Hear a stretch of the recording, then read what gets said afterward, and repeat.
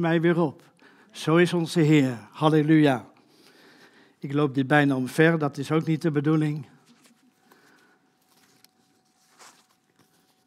Dus even kijken hoe ik dit uh, goed kan doen.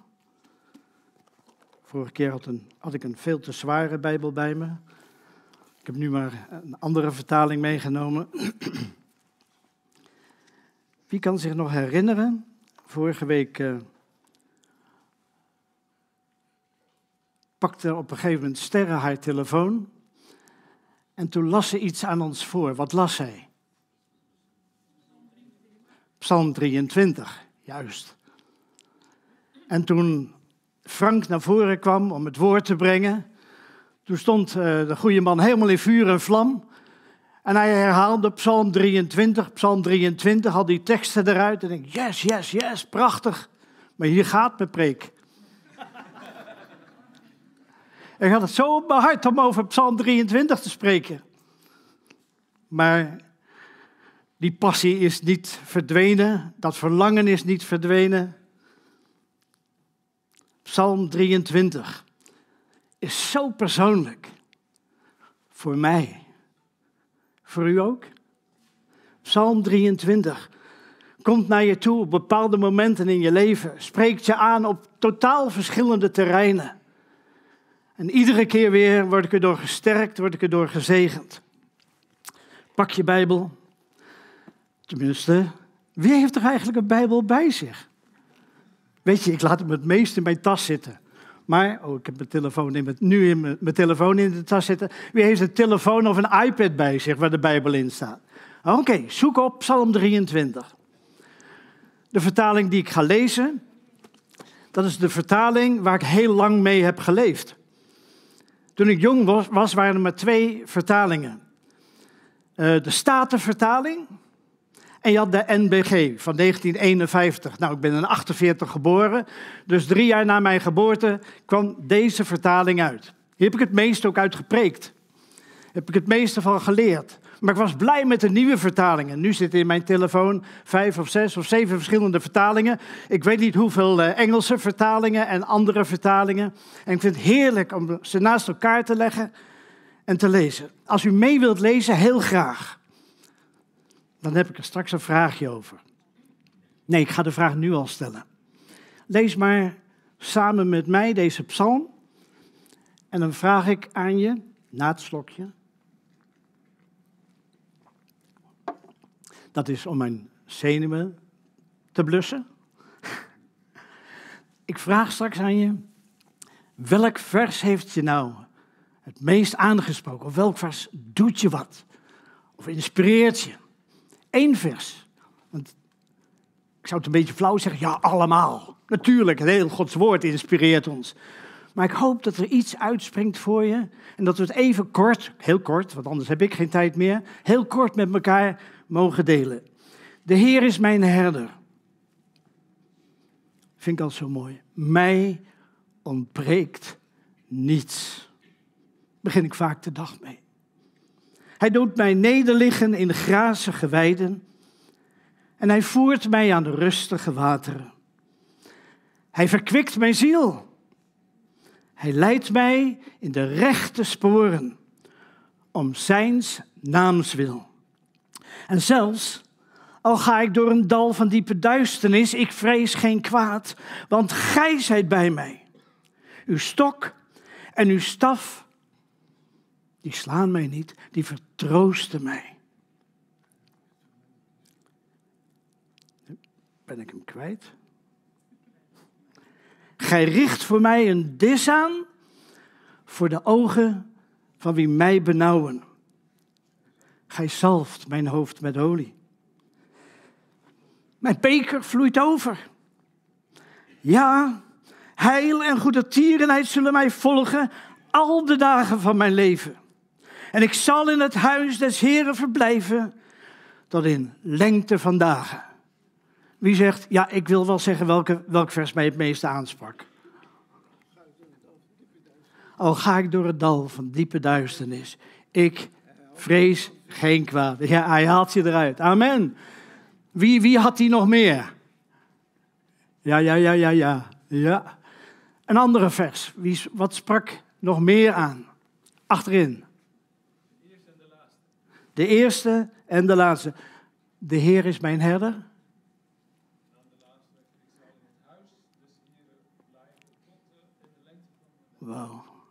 Ga daar straks wat over zeggen hoor. ja. Nog iemand, iets persoonlijks dat je zegt, dat raakt mij, die woorden. Voor mij was het voldoende. Hartstikke mooi, hè? Gods woord.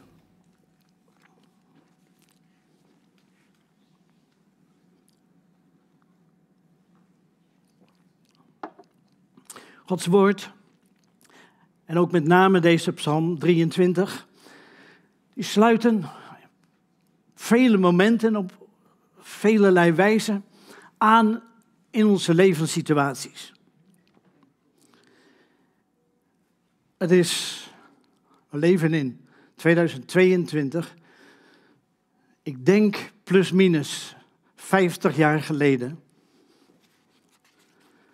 Dat briefje heb ik ook, zit ook in mijn Bijbel. Maar ik las daar een story, dat ging over Psalm 23. Tenminste, ik lees het zo aan je voor. Dat werd gevonden door een politieagent in een telefooncel in de stad New York. Had het briefje meegenomen en op de een of andere wijze is het gepubliceerd. Na de hand, toen ik bij Teen Challenge werkte, hebben wij er een folder over geschreven. En na de hand, toen we werkten bij de Stichting Voorkom, hebben we de posters van gemaakt. Psalm 23 en de psalm van een verslaafde. Ik lees hem aan je voor. Zoals ik menigmaal, menigmaal, menigmaal op ouderavonden aan vaders en moeders heb voorgelezen. Een meisje van 20 jaar schrijft dit. Ze zegt, koning Herwine is mijn herder. Het gaat precies parallel aan Psalm 23. Ze zegt, koning Herwine is mijn herder. Ik heb hem steeds nodig.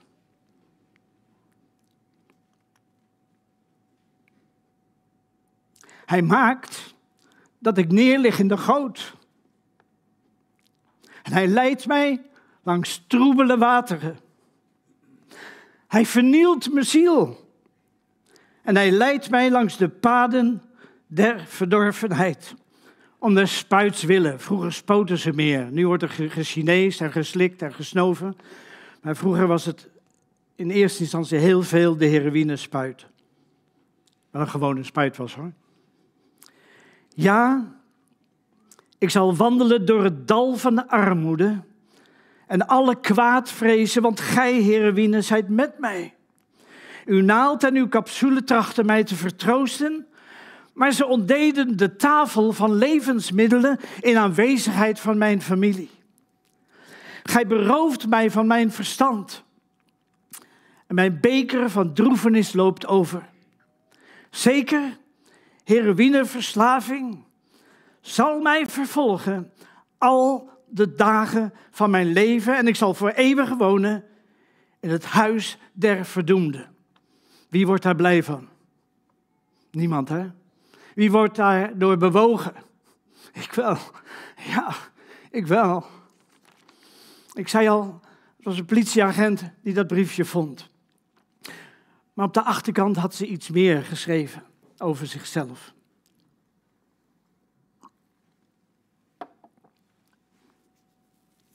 Ze schrijft werkelijk: Dit is mijn psalm. Ben een jonge vrouw van 20 jaar oud. En gedurende het laatste anderhalf jaar ben ik door de nachtmerrie van verslaving gegaan. Ik wil ophouden met het nemen van doop, dat is een ander woord voor drugs. Hè? En ik probeer het, maar ik kan het niet. De gevangenis en het ziekenhuis hielpen mij er niet vanaf. De dokter vertelde aan mijn familie dat het beter en zelfs vriendelijker zou zijn geweest wanneer die persoon die mij met verdovende middelen liet kennismaken, een pistool zou hebben genomen en mij van het leven hebben beroofd. Dan eindigt ze met deze woorden, had ze het maar gedaan. O God, hoe graag zou ik willen dat ze dat had gedaan. Plus minus 1970, of iets eerder misschien geschreven. Misschien leeft ze nog en heeft ze het licht ontdekt. Dat zou geweldig zijn, dat zou geweldig zijn.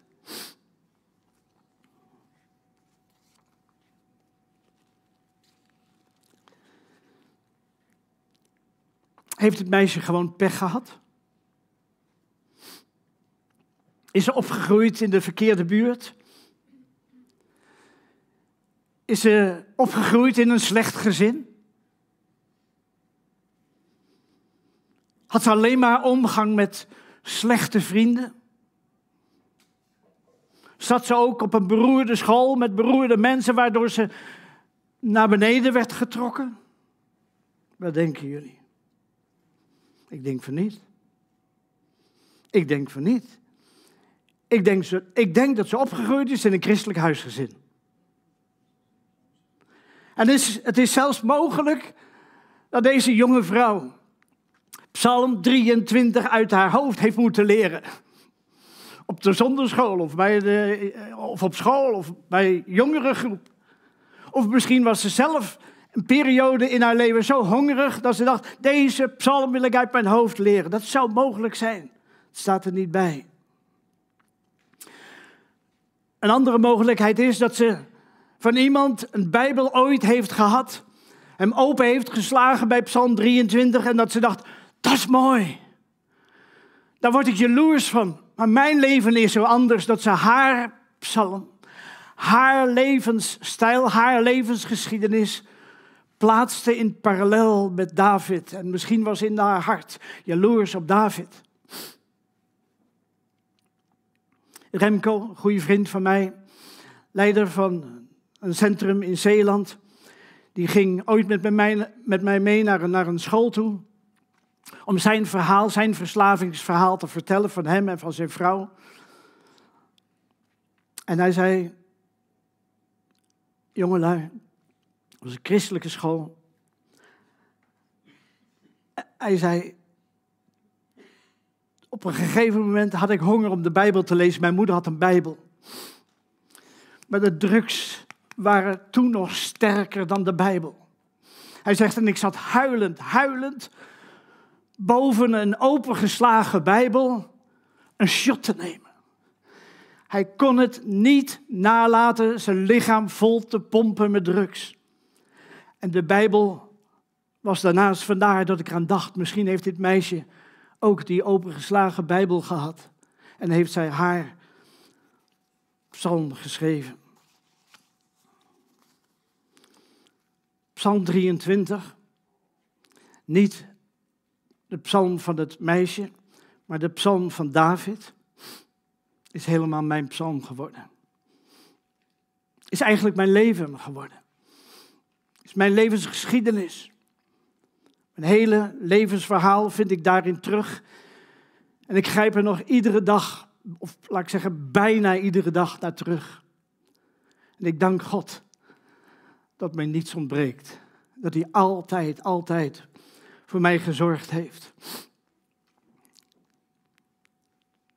U krijgt dus een iets wat andere preek over Psalm 23 als dat u gewend bent. Ik deel hem in drieën. Ik, ik heb drie hoofdstukjes gemaakt. Het eerste hoofdstukje, vers 1 tot en met 3, dat heb ik boven geschreven, mijn voorspoed. Vers 4 en vers 5 heb ik boven geschreven, mijn verdriet. En vers 6, lieve broer achteraan, daar heb ik bijgeschreven mijn keuze.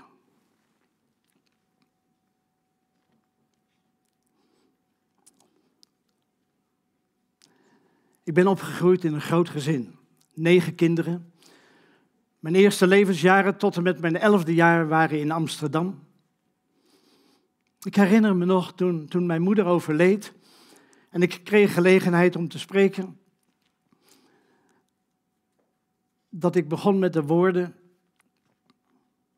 over ons gezin. We waren arm, maar warm.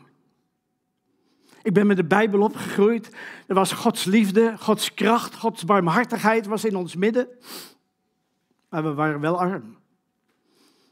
We leefden met z'n elfen op één etage, op de derde verdieping, in een Amsterdams bovenhuis. Er was niet veel ruimte. Ik geloof, uh, er waren vier meiden en vijf jongens. Die vijf jongens die sliepen op één kamer. ja, ja, ja. Ik herinner me ook nog, soms zong ik met mijn broers in bed. Dat was mooi. Soms werden er minder mooie dingen gedaan. Je leefde hutje-mutje op elkaar. In de huiskamer, dat was bijna altijd warm. De slaapkamers, er stonden soms de bloemen, de ijsbloemen op de ramen. Op de zolder werden de kolen gestort en moest je kolen scheppen en dat ging in een kolenkacheltje. Maar soms was er geen geld voor kolen. Dan ging ik met mijn broers naar het Waterloopplein. Er was altijd overschot, er was de markt afgelopen en er was altijd hout te halen. En dat stookten we dan in de kachel. En zo hadden we het warm. Arm, maar warm. Niets mis mee. Het waren bijzondere tijden.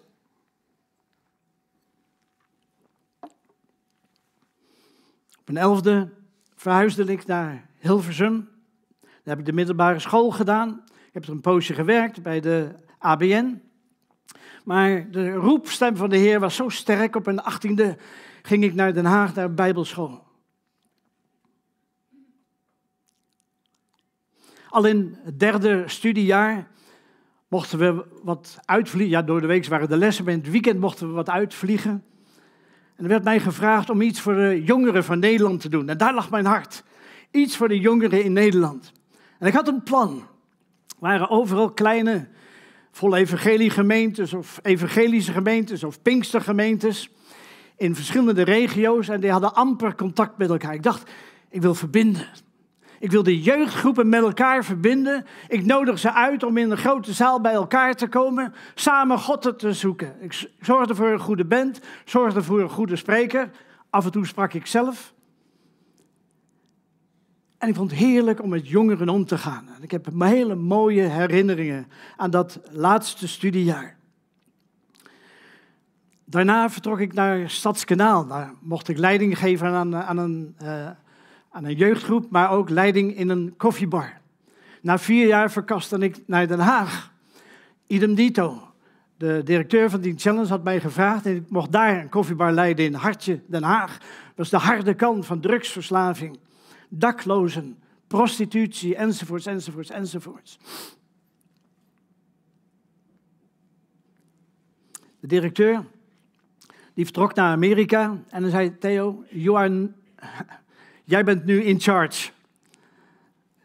Jij moet het werk uh, blijven leiden totdat ik terugkom. Over jaartje kom ik terug, maar ik moet aan fundraising doen. We hadden in de, ondertussen Nicky Cruz uitgenodigd. Maar tussentijds kwam hij een keer terug en dan zei Theo, sorry, uh, God roept me naar Hongkong. Jij, jij moet de kar gaan trekken. En eenmaal toen we campagnes gingen houden met Nicky Cruz, met David Wilkerson, met Sunny Argenzoni, met Hans Koornstra, genezingscampagnes. Geweldig. Honderden, ik jok niet als ik zeg duizenden mensen, hebben daar de Heer Jezus mogen leren kennen. Ik heb een dankbare, dankbare jonge jaren mogen, mogen meemaken. Ik herinner me nog als, als van gisteren dat we een campagne hadden in de Rijnhal in, in, in Arnhem. Grote hal, veel gemeentes werkten mee.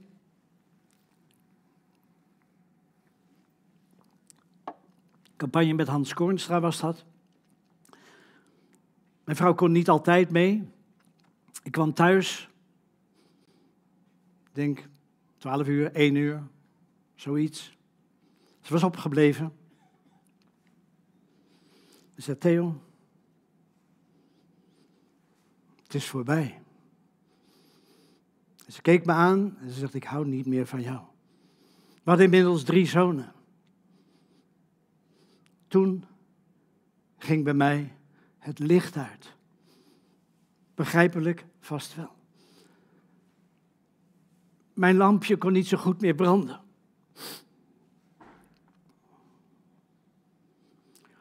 Omdat we een aantal jaren die campagnes achter elkaar leidden en de gemeente is daarbij betrokken, overal in het land, was de naam Theo van der Sluis inmiddels best bekend geworden.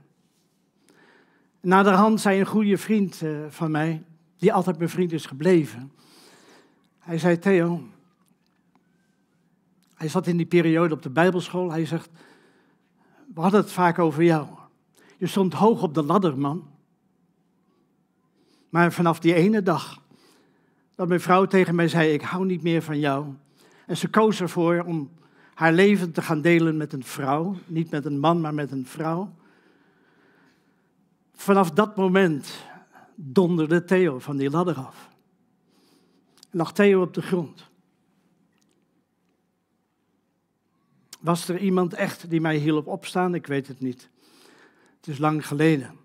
Afgelopen maand hebben Joke en ik ons 40-jarig huwelijk mogen vieren. Joke, wat een feest.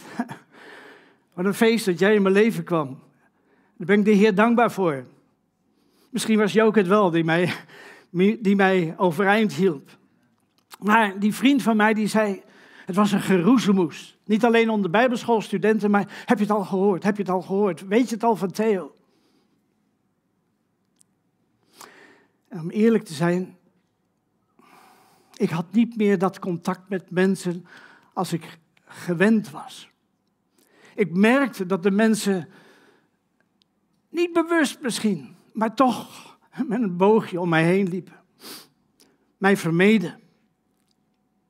Het is moeilijk om aan iemand te vragen van, Theo, hoe is het nou met jou? Wat voor antwoord krijg je dan en heb je daar een antwoord op? Dat is best moeilijk. Dat is niet zo gemakkelijk. Dus ik begrijp dat mensen met een boogje om mij heen gingen.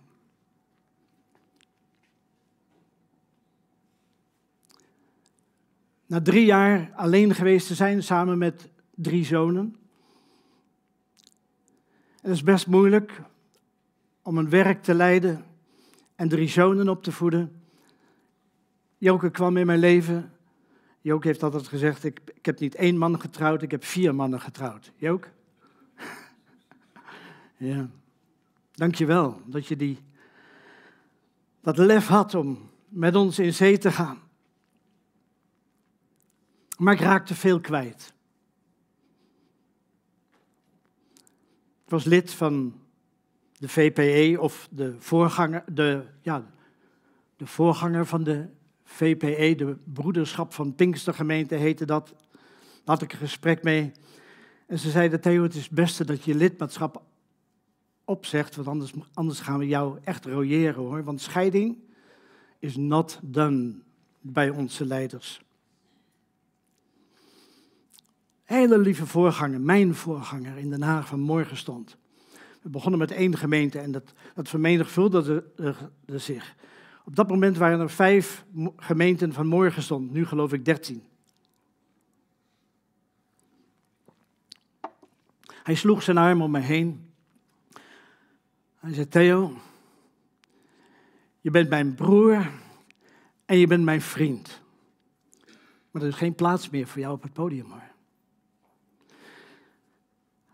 Aan de ene kant deed het pijn, aan de andere kant begreep ik hem. Ik wist op welke lijn hij zat. Hertrouwen, scheiding was nog dan, maar hertrouwen helemaal niet. Na verloop van tijd moest ik ook zelfs afscheid nemen van Teen Challenge. En dat was beter. Maar in die periode, als ik daarna terugkijk, voordat het licht uitging, wat ben ik God dankbaar dat ik kon zeggen, de Heere is mijn herder. Mij ontbreekt niets. Hij doet mij nederliggen in grazige weiden. Er is altijd groen gras. Er is altijd fris water. Er zijn altijd Gods zegeningen.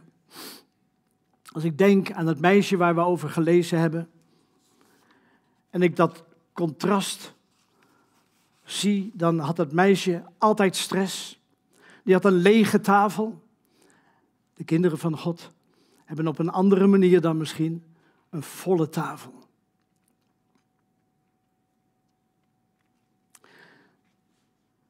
Ik was zondagsmorgen samen met mijn jongens in een dienst van Pinkstergemeente Morgenstond. En toen bestond opwekking 600, 700, 800 nog niet. Hè? Toen zongen wij opwekking 121, de Heer is mijn herder.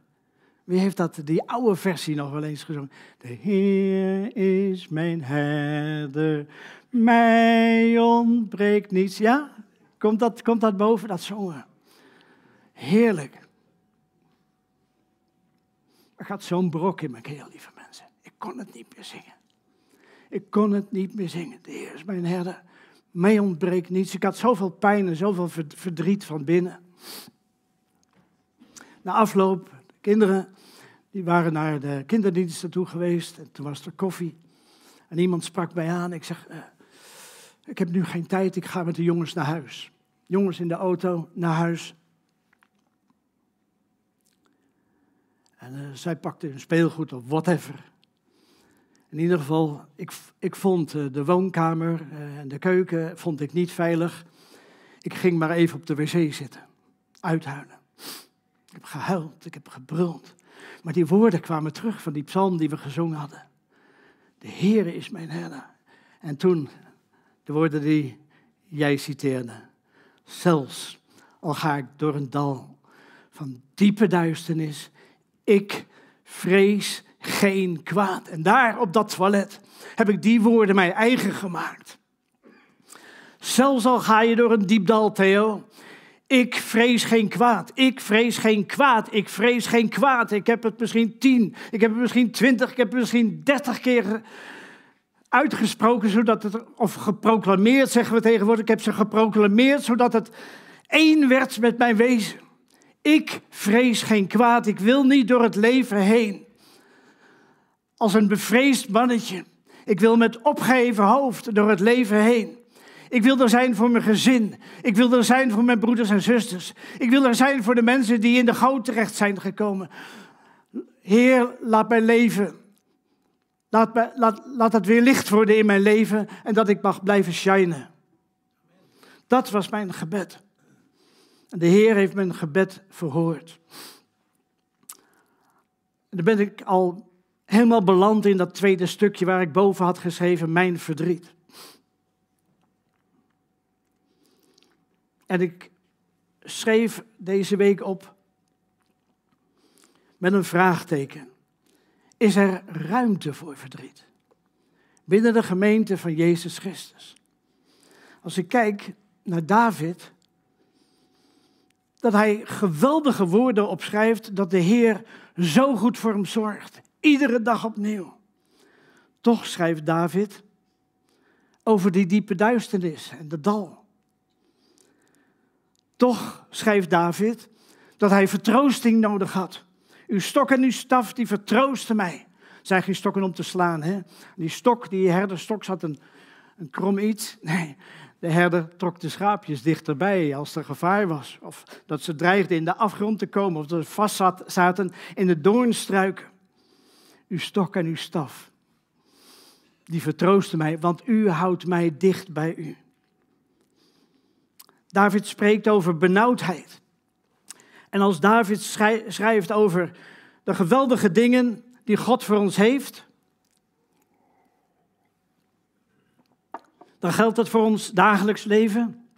Maar als David ook schrijft over duisternis en vertroosting en benauwdheid, dan is dat ook deel van het dagelijks leven wat we om ons heen zien en wat ons ook kan overkomen. David geeft ons eigenlijk ruimte voor verdriet. Maar hoe gaan, we dan, hoe gaan wij daarmee om?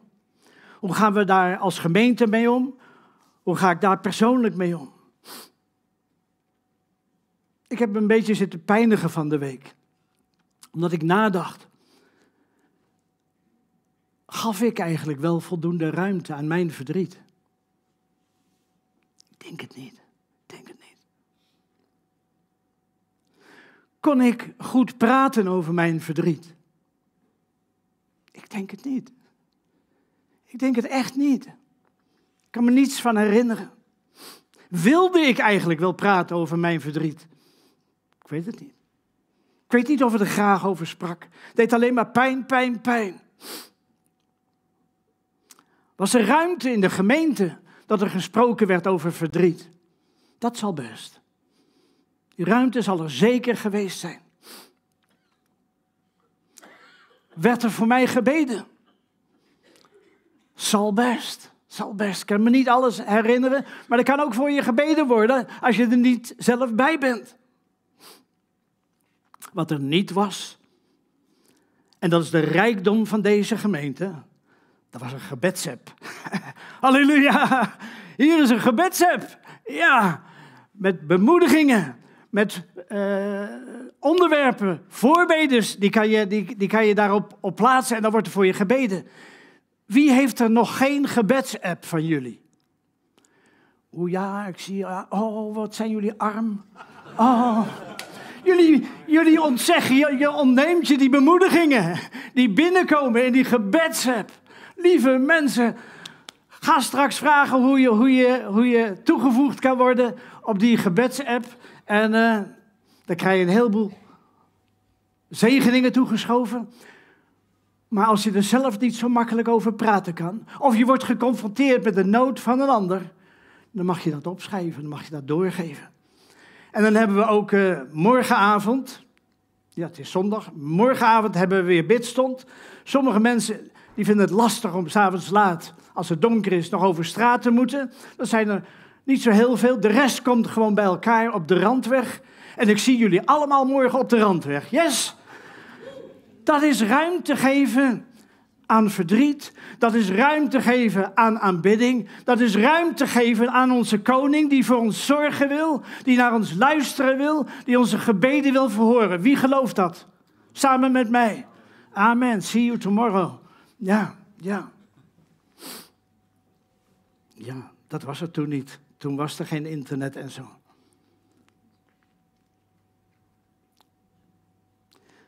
Paulus, die schrijft iets. Ik ken het. Paulus, die schrijft iets aan Korinthe. Een opdracht voor u en voor mij. Het is geen gemakkelijke opdracht hoor. Paulus zegt in 1 Korinthe 12, vers 26. Als één lid leidt, wie weet hoe het verder gaat, dan. Wat zegt u? Dan leiden? Allemaal. Het staat er wel. Ja. Als één lid, het is niet mijn bedoeling om schuldgevoel te kweken vanmorgen. Dat is niet mijn bedoeling. Maar het is wel mijn bedoeling om jullie te stimuleren. Als er nood is in ons midden, en die nood wordt gedeeld, als je het niet weet, dan weet je het niet. Maar als de nood gedeeld wordt, mogen we samen, samen zijn we sterk hoor mensen. Samen zijn wij een leger. We mogen de hemel bestormen en we mogen ook tegen de duisternis tekeer gaan. Dat de duisternis moet wijken in de naam van Jezus. Mee eens? Ja. Laten wij geestelijke strijders zijn, bidders zijn. Als één lid leidt, leiden alle leden mede. En je mag persoonlijk bidden. Je mag naar de randweg toe komen. Het liefst heb ik dat mensen allemaal bij elkaar. Hè, Doné? Waar zit je, man? yes. Ja. De Romeinen, daar schrijft Paulus ongeveer hetzelfde aan. Paulus zegt: Wees ook blij met de mensen die blij zijn. Wees niet jaloers dus. Wees blij met de mensen die gelukkig zijn, die iets blijs hebben meegemaakt. Dus klop elkaar op de schouders als er een verjaardag is, of als iemand geslaagd is ergens voor, of iemand een huis heeft gekregen, of wat, er, wat voor geluk nog meer eh, voor het oprapen ligt. Nou, voor het oprapen. Hm. Feliciteer iemand als hij een nieuwe auto heeft, dat is ook mooi. Wees blij met wie blij zijn. Wees verdrietig met hen die verdrietig zijn. En dat is dat moeilijke. Daarom hadden, denk ik, in mijn, in mijn donkere tijd mensen moeite met Theo, die, die er liever omheen gingen. Want wat zeg ik tegen Theo? Je hoeft niks tegen Theo te zeggen. Je hoeft niks tegen die broer of die zus te zeggen. Weet je wat voldoende is? Pak jou even, Danny. Dit. Ga staan. Gewoon dit. Dat is voldoende. Dat is voldoende. En voor de rest hoef je helemaal niets te zeggen. Dan communiceer je liefde. Je communiceert bewogenheid. Je communiceert dat hij of zij jouw aandacht heeft. Dat is naast elkaar staan, met elkaar meeleven, met elkaar kunnen wenen, met elkaar kunnen, met elkaar kunnen huilen, wenen, pijn hebben, dat beleven zonder woorden. En dat voel je van elkaar. Er zijn mensen die daar bijzondere antennes voor hebben. Ik moet een beetje lachen. De laatste keer dat ik op de bid stond was, we een poos gezeten, zo in een kring om te bidden. Eigenlijk niet de beste manier om te bidden, maar goed. Um, we hadden een poos gezeten. Ik ging staan en ik deed even zo. Alex. Alex Tins. Theo, heb je pijn in je rug? Zonder dat ik antwoord gaf. Heer, raak hem aan. en hij ging alle minuut voor me bidden. Nou, dat is geweldig. Domino's met de pizza kan niet zo snel reageren hoor. Nee, prachtig, Alex. Alex is op vakantie. En, hij stuurde me vanmorgen nog een appje. Theo, we denken aan je, we bidden voor je, we zijn één met je. Prachtig. Dat is samen leven als gezin. Dan neem ik jullie mee naar het laatste stukje. We hebben genoeg gehad over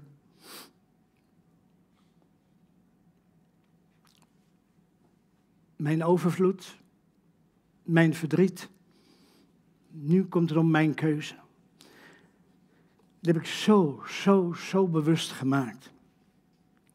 In vers 6 heb ik voorgelezen: Ja, heilen, goede tierenheid zullen mij volgen al de dagen van mijn leven. En ik zal in het huis des Heren verblijven tot in lengte van dagen. Ik herinner mij een gesprek. Morgen stond er toen vijf gemeentes, vijf voorgangers. En dat een van de voorgangers had ik een gesprekje mee gehad. En zei Theo, misschien moet je er toch eens over na gaan denken om je baan bij Team Challenge op te zeggen. Ik moet er nog om lachen als, iets, als ik daaraan denk. Hij zegt, maar hij meent het serieus hoor. Hij zegt, misschien moet je je baan bij Team Challenge opzeggen. Dan moet je gewoon postbode worden. Dat was toen een wereldbaan, hè? nu niet zo meer. Je weet nooit wanneer je werken mag en wanneer het afgelopen is. Maar dat was toen een hartstikke goede baan. En hij bedoelde het ook goed. Ik zei, nou, ik neem het in overweging. Ik ging niet meteen tegensputteren of zo. Wie weet was het een woord van de Heer. Maar ik ging erover nadenken en was het weer Psalm 23. En in deze vertaling, daar staat, ik zal in het huis des Heren verblijven tot in lengte van dagen. En die twee woordjes, ik zal, dat werd voor mij, dat werden voor mij zulke radicale woorden. Wat er ook om mij heen gebeurt. Al, al, al gebeurt er, ik, ik weet niet wat.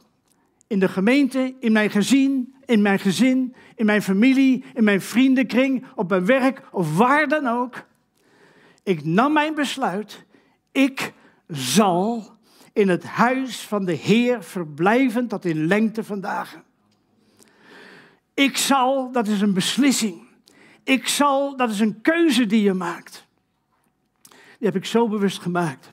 En ik wil, ik wil het iedere dag opnieuw, opnieuw zeggen. Ik zal in het huis van de Heer verblijven. Al de dagen van mijn leven. Om Hem te zoeken, om Hem te aanbidden, om Hem te dienen.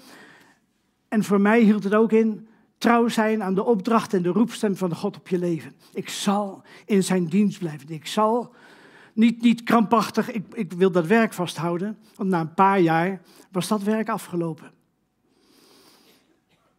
Breng maar eens een plaatje in beeld. Daar moest ik van de week aan denken. God staat niet in de weg. God often uses our deepest pain as the launching pad of our greatest calling. God is de vertaling, of ik kan beter met deze woorden beginnen. Heel vaak gebruikt God onze diepste pijn als het lanceerplatform van onze grootste roeping. Kijk er nog eens goed naar. Heel vaak gebruikt God onze diepste pijn als het lanceerplatform van onze grootste roeping. Een ander besluit wat ik ooit genomen heb. Ik wil never, never nooit stilstaan of blijven hangen in de waarom-vraag. Waarom dit en waarom dat? Waarom gebeurt dit? Waarom moet mij dit overkomen? Daar wil ik niet bij stilstaan. Dit is geen Bijbeltekst, crosscards. Die hebben dat op papier gezet. Maar het is zo'n waarheid. En voor mij werd het waarheid. De pijn van mijn leven werd mijn grootste roeping. En God bereidde een pad voor Jook en voor mij om een nieuw werk te starten, genaamd de Stichting Voorkom. Daarin hebben we samen 30 jaar mogen dienen. Jaarlijks tienduizenden, jaarlijks ongeveer 50.000 jongeren mochten we bereiken. Om te waarschuwen voor verslavingsproblemen en ze het evangelie te verkondigen. Want er gingen altijd mensen mee, kinderen van de Heer, die eenmaal in die verslavingsput hadden gezeten, maar door de kracht van God eruit getild waren. De grootste roeping van mijn leven kwam nog. Wat wilde de duivel doen? Ons het dekje omdraaien. Wat zei God? Ik zorg voor een nog mooier platform. Een nog bredere bediening. Niet zozeer op het podium, maar voor de klas. En naderhand veel meer mensen voor de klas, veel meer scholen, veel meer lessen. En ik dank God persoonlijk dat Hij mij zo genadig is geweest. En die genade, die genadevolle, die liefdevolle God, is die ook jouw God? Ja. ik dacht even, ik hoor niks. Is die liefdevolle, genadevolle God van mij ook jouw God? Amen, amen. Hij wil jou ook gebruiken. Ik zou, ik zou het zo mooi vinden. Als je zo dadelijk voor jezelf een besluit ging, ging nemen. Met die woorden van David. Ik zal. Ik laat me niet kisten. Ik zal in het huis van de Heer verblijven tot in lengte van dagen. Ik zal doorzetten. Ik ga niet bij de pakken neerzitten. Ik geef me niet gewonnen. Ik ga door in de kracht en de genade en de liefde van de Heer. Wie wil dat? Ja. Wie het echt wil, die mag gaan staan.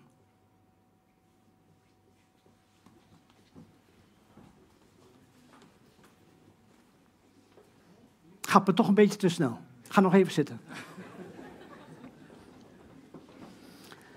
Want je zegt iets, hè? Ik zal, is mijn keuze. Dat is jouw keuze. Ik zal in het huis van de Heer verblijven. Altijd. Whatever. Wat er ook op mijn pad komt.